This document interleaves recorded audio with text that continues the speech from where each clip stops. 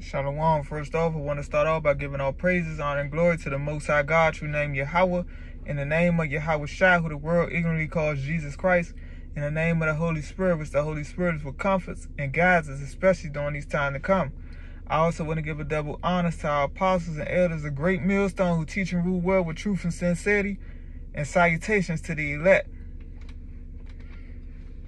If you love this world, ultimately you were beat into loving oppression. Like the um, like they say, Stockholm syndrome, where the person, the slave, starts to love their master.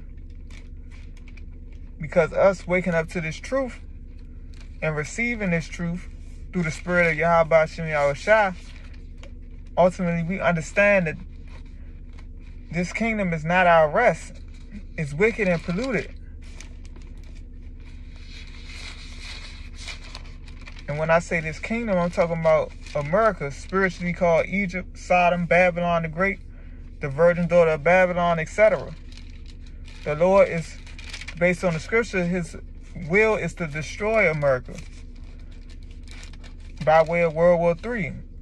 And of course, with his son Yahweh Shai, even he calls Jesus Christ, cracking them clouds to destroy this kingdom after delivering his elect during the midst of World War III, the elect of the nation of Israel, the one third who's going to be fitted to be saved during that time. The nation of Israel today consists of the so-called Negroes, Latinos, Native Americans, and the Israelite foreigners that look like heathen but are not heathen because their father's seed line traces back to one of the 12 progenitors of the 12 tribes of Israel because we were scattered around the world due to disobedience to the Heavenly Father in our past generation as well as this generation. But like I always say, like you can see based on the prophecies that are written in the scriptures that this kingdom is going down the drain. You can see World War Three is just about starting, based on the wars going on over there in Israel. You know the the, the um the situation that happened in Gaza with Hamas and Israel, etc. Like those things were already written in the scriptures, and our elders and apostles, a great millstone, on down to the men that teach the same doctrine, were prophesying about these things to come from the scriptures for decades. But like I said, if you love this world, ultimately you were beaten to love oppression because for the most part, the people are mourning. You know, you got homeless rates going up, the prices of things are going up. People are struggling. And people are stressed out. That's why people are taking taking the um, route to try to use as much drugs as they can, trying to find an outlet to party as much as they can to take their mind off of the reality of what's going on. They don't understand that the Lord's people are under the curses. Along with the fact of the matter is that whoever's in rulership ultimately if it's a wicked person in rulership, then the world is going to lie in wickedness. But I'm going to start off with Proverbs chapter 29 and verse 3. It reads, well, I'm going to start at well, verse 2. Proverbs 29 verse 2, it reads, When the righteous are in authority, the people rejoice. And ultimately, the righteous will be in the authority when the Lord established our kingdom of everlasting righteousness, the Israelite kingdom. Because ultimately, as of right now, as the scriptures say in Job 9 and 24, the earth was given into the hands of the wicked. The wicked is the so-called white man who forefathers Esau Edom. The ones that's running this this world, they ultimately are doing the bidding of Satan. Let me continue on. But when the wicked beareth rule, the people people mourn. So the wicked are bearing beareth ruling right now. And like I said, in our kingdom of everlasting righteousness, the people will rejoice, even though the other the um the, the other 17 nations which are heathen that are created, they're going to be uh, under subjection to the Israelites, paying tributary, but they're still going to be better off than in this wicked kingdom. But I forgot, yeah, ultimately, the so-called white man, after their thousand years of slavery, is going to go into um. They're going to ultimately be extinct they're going to be taken off the face of the earth forever, according to the scriptures. because of the wickedness that they've done to the Lord's people. The apple of the Lord's eye. But I'm gonna go from there to um Sirach.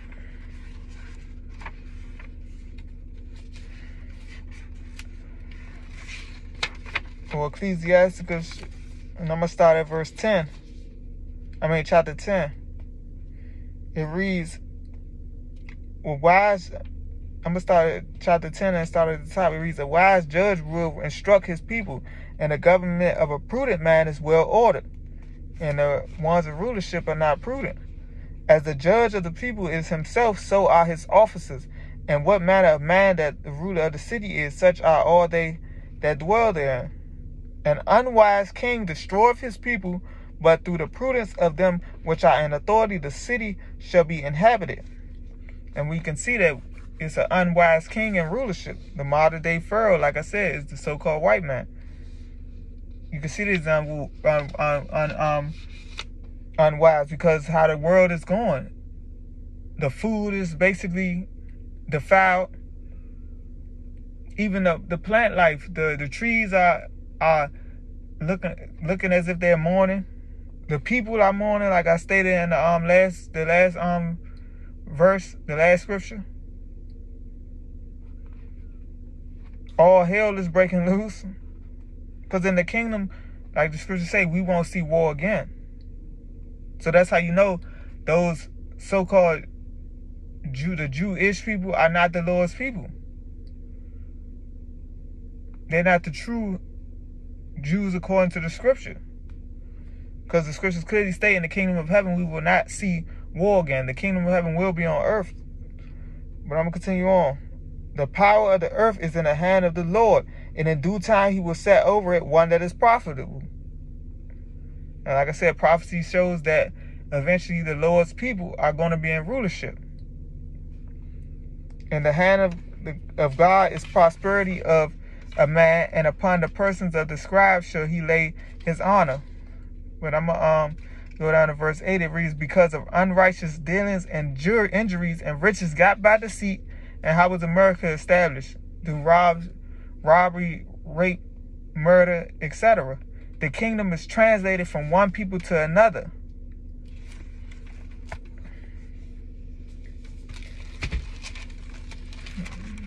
But like I said, the point of this lesson is that a person that loves his world, especially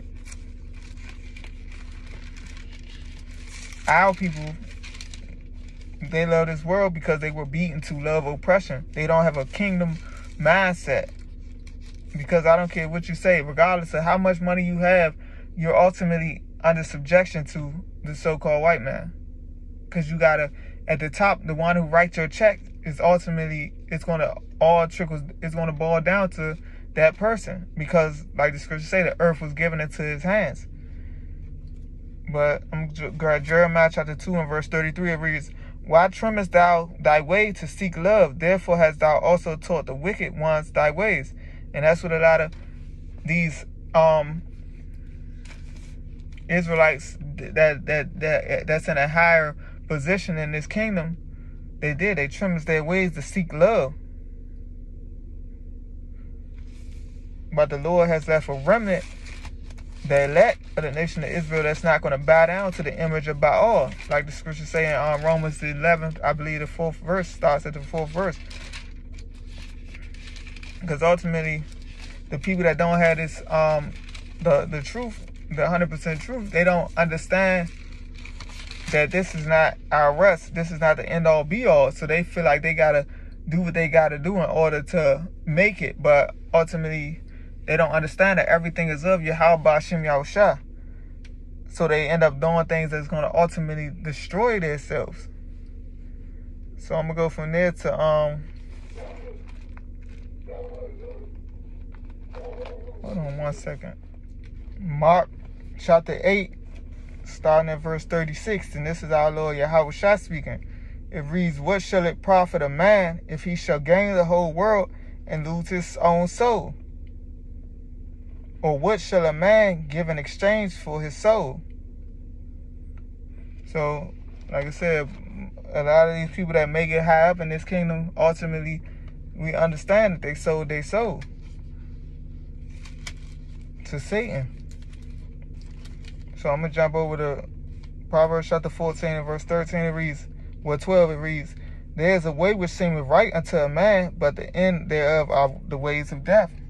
Because they felt like it was right for them. They felt like, well, they can feed their family, you know, for generations. They can make it out the hood or whatever the Lord put the spirit on them to think in their mind to feel like it was right to do it. Because like the scriptures say, the deceived and the deceiver, deceiver are the Lord's. I believe that's in Job chapter 12 and the 16th verse. But like I said, people don't understand that ultimately, in order for us to make it out of this oppression, is ultimately going to be through the will of your Yahweh Shem Yahushua. Because we can't fight our way out of it because our weapons of warfare is not carnal. It's a spiritual war.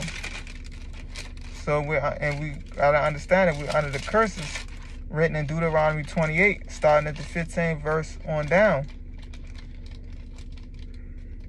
But I'm gonna go from there to Micah chapter 2 and verse 10 it reads Arise ye and depart, for this is not your rest, because it is polluted it shall destroy you, even with a sore destruction. Because the whole point is, like I said, this is not our rest. So trying to be prosperous in this kingdom, America, or, or anywhere else in this world, ultimately, it's not our rest because this is not our kingdom. We got to go through the, you know, the trials and tribulations that we have to go through until the Lord is pleased. But like I said, only the elect of the nation of Israel is going to understand that and do the things necessary to ultimately hopefully be delivered because we're the hopeful elect because we don't know who's the chosen until you know all hell breaks loose and the lord sees you through it but like I said, we understand that we got to go through it. So I'm to um, grab 2nd Ezra chapter 7 and verse 18. It reads, Nevertheless, the righteous shall suffer straight things and hope for wide. So the righteous is going to understand that we got to suffer the straight things and hope for the wide, the kingdom of heaven. For they that have done wickedly have suffered the straight things and yet shall not see the wide.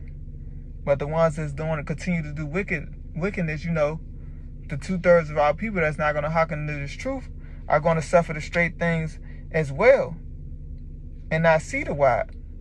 Ultimately, until they're, they're going to see it when they're reborn after being destroyed on this side and reborn in the kingdom. Because all Israel will eventually be saved. But I'm going to jump down to verse 20. It reads, for there be many that perish in this life, because they despise the law of God that is set before them. For God hath given them straight commandments to such as came what they should do to live, even as they came, and what they should observe to avoid punishment. So the Lord gives the instruction on what to do through his men, the servants, the prophets. And like I said, majority of our people are not going to hearken. And ultimately, they're going to continue to act as if they're happy in this world. That's why certain people, you know, that they got a lot of money, they end up committing suicide because they understand that they done achieved all this status and fame and and riches, but they still it's something that's missing that they feel is missing. Because, like I said, ultimately they're not happy because you can't buy happiness. But that's all I got. Call Hello Imla Yahweh Bashim Yahushua Bashim Rakakwadash. Shalom.